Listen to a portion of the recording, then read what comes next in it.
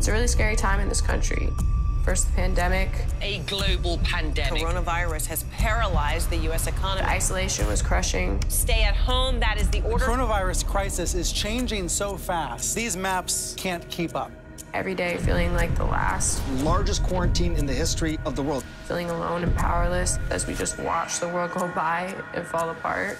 A hideous day on Wall Street, a market's plunging. A grim new death toll and frightening new projections. Feeling like everything was just out of our control. I am officially declaring a national emergency. This is going to get worse before it gets better. Then that desolation turned into anger as the world witnessed what happened to George Floyd. Breaking news out of Minneapolis. A black man died yesterday in police custody. George Floyd repeatedly told the officers that he could Protesters not breathe. clashing with police in Minneapolis. It is unbelievable to see what is happening in almost every single major city in this country. If we want change, our generation has to step up right now. After seeing what I saw today, my blood is boiling right now. Saw them tear gas a whole crowd of people today for peacefully walking. Tomorrow, Tuesday, June 2nd, we are hosting a basketball peaceful protest in Philly. We are bringing the hoop out, we are going to ball in the streets. Because that is the best way I know how to spread love. That is the best way I know how to bring people together. No justice! No peace!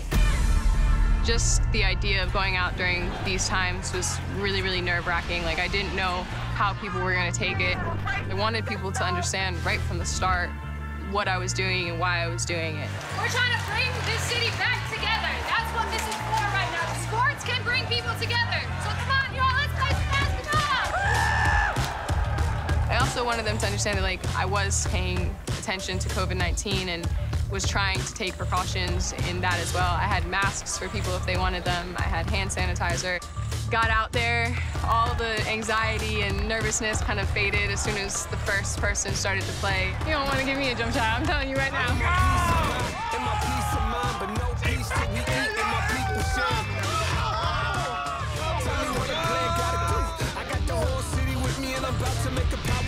Me and my brother, we was actually downtown protesting, and we just happened to see her, and she said, you guys want to take a shot? Her whole goal is for everyone just to come together, and have fun and enjoy, like, you know, have a good time. I was just playing with five people I've never met before in my entire life.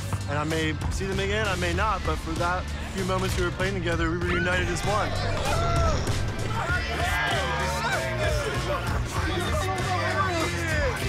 Oh my God, basketball feels so good.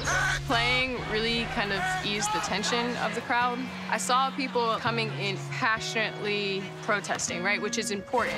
But then when they came to us, you know, a big smile came up on their face. You're like, oh, it's a hoop, like, I want to play too. People drive by smiling, like, get out the car, want to take a shot, want to play basketball. She inspires people, she brings people together. Oh, ball, he's gonna pick you up. Look how tall he is. He's gonna get you right up to the basket. Oh, oh. Sometimes, right? People always say, like, ball is life, and, like, that's, like, very true for me, you know? There's nothing in the world that I love more than basketball. It's kind of the one thing that kept me together as a kid. When I was born, I wasn't supposed to be able to walk, so my legs were turned completely in.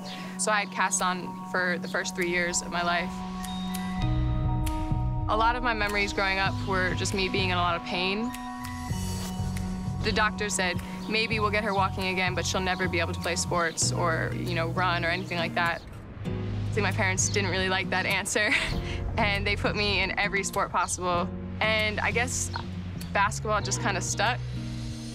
The struggle helped me appreciate being able to play basketball the most. Every time I walk on a court, I'm just happy that I can go out there and, and play the way that I play. Okay, you want to give me the left? I'll do the same thing.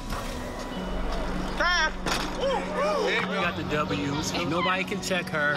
People take her lightly because she's a girl, but she pretty much ends up beating them. I'm six foot four. I've been playing basketball my entire life. Do not sleep on that girl. Trust me.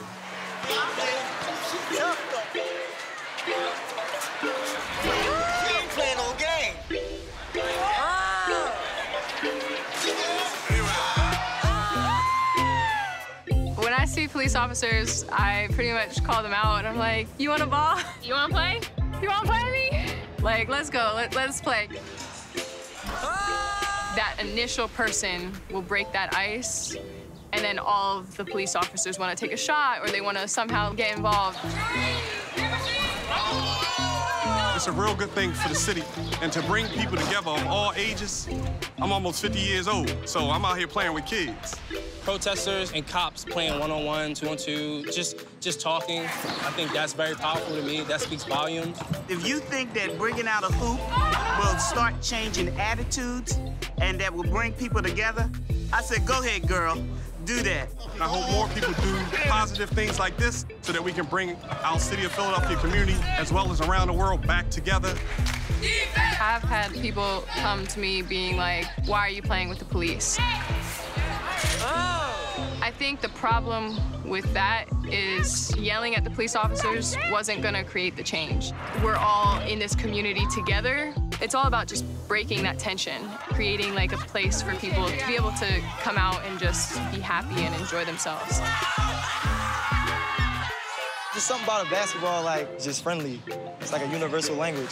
Yeah, we're so glad you're here. Hey, appreciate you. I really do believe that sports can bring people together and unite people. I've seen how all these people of different like races, ethnicities, gender, ages, everything, right? They all come together and they're all standing around watching or they want to get involved. Bringing a basketball hoop is not going to end racism. I 100% know that that's not the case. We're just trying to break the tension so that maybe we can come together as a community and find the, the right solutions to get to a better place in our country and in our society.